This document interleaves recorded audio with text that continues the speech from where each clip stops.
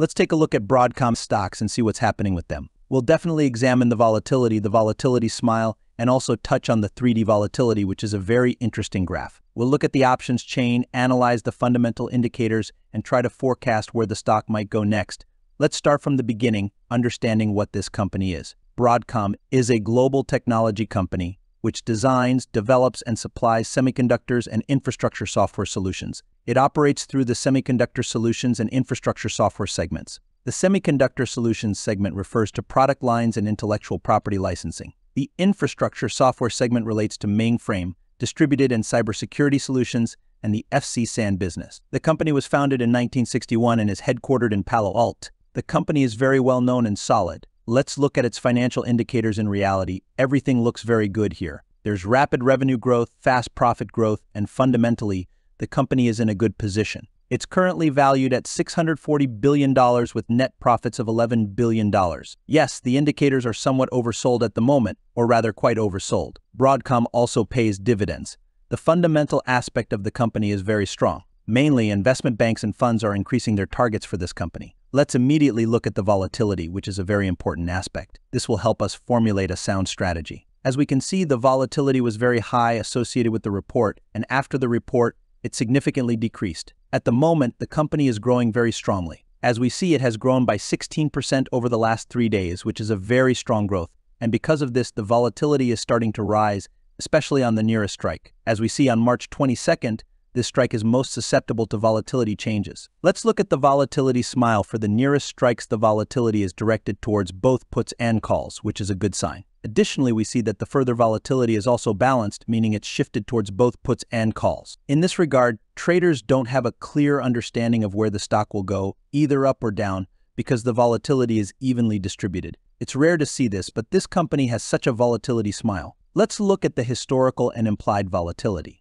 As you can see, the volatility is currently below its historical values on the near end, meaning the implied volatility is less than historical values, while on the far end, the implied volatility is higher than historical values. This is very good information for the future. It will definitely help us in formulating a sound and low-risk strategy. Let's look at the options and the volume of trading in options. It's quite substantial. As we can see, the highest volume is concentrated around the $1,400 level. These are calls. Well, puts are concentrated around the $1,330 level, and that's the one to pay attention to. As we can see at the moment, the company is approaching this level, and there are several possible scenarios here. First, if we break through this level, there's a high probability that we'll see acceleration due to gamma squeezing and price gamma. I'll explain a bit more about this shortly. I'll continue. But also, this $1,400 level acts as a very, very strong barrier. As we can see, so far the stock has not been able to overcome this level. And this is directly related to this huge options wall. You see, it's struggling, so just can't break through. Let me tell you why it can't break through. It's precisely because of this massive options volume. Let me tell you why gamma squeezing might occur and what it is. When retail investors and ordinary people buy call options, on the other side stands the market maker. They sell these options, and to avoid losses, they buy as many shares as required by delta.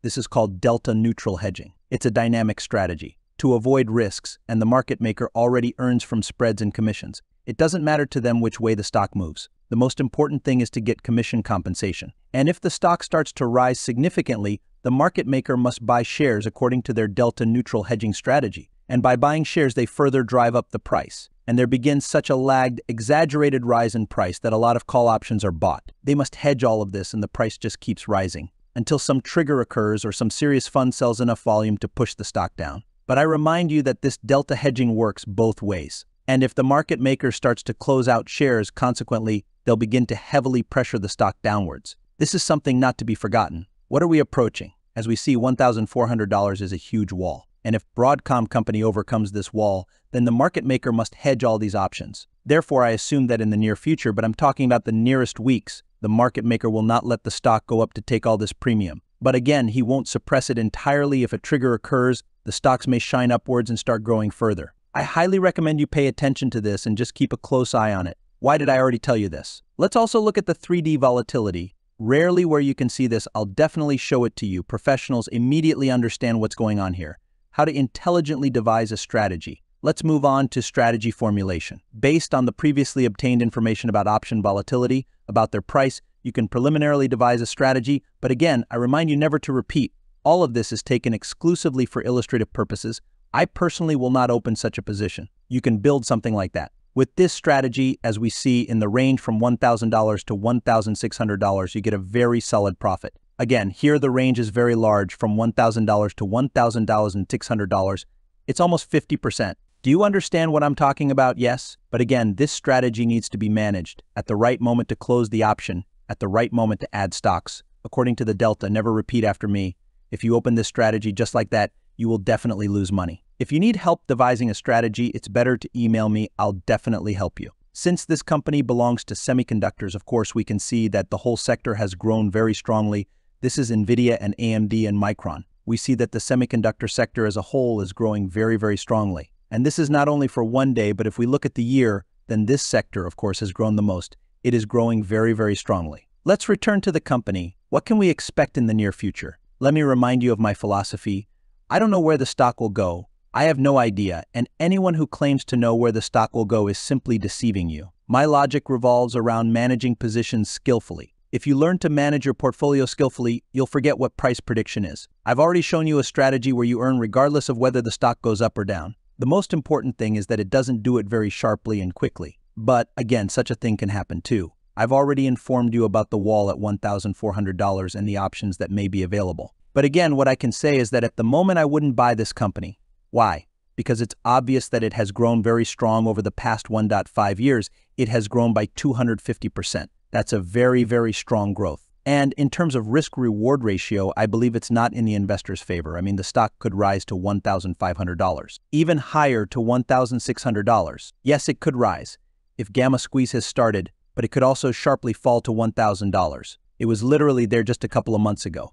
What I'm getting at is, are you willing to risk to make $100 to 200 only to lose much more? This is called mathematical modeling and probability theory. According to probability theory, the risk reward is not in your favor. And that's why I wouldn't recommend getting involved with this company for now. And also, by no means is this an investment recommendation you can, of course, do as you please. Also, in my opinion, the growth potential of this company is coming to an end. Yes, again, I'm not saying it's finished. The company may still make some upward moves, but globally, I believe there should be some correction before we can start growing to $2,000 to $2,500 and beyond. Yes, I fully believe this company could be worth much more. But again, it needs to evolve in cycles. This is a very good position for an investor.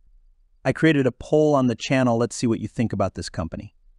Also, I advise you to watch this video. Here I talked about the five most promising companies that have very high profit potential. Good luck to everyone.